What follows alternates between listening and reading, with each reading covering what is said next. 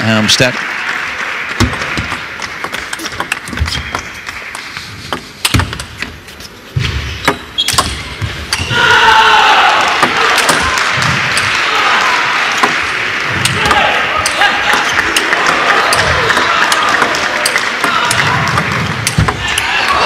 That point was absolutely stole watch. Cavallo was all over it, but couldn't get the point to bed. Immaculate defense from Xu Xin. Look at this. What a turnaround.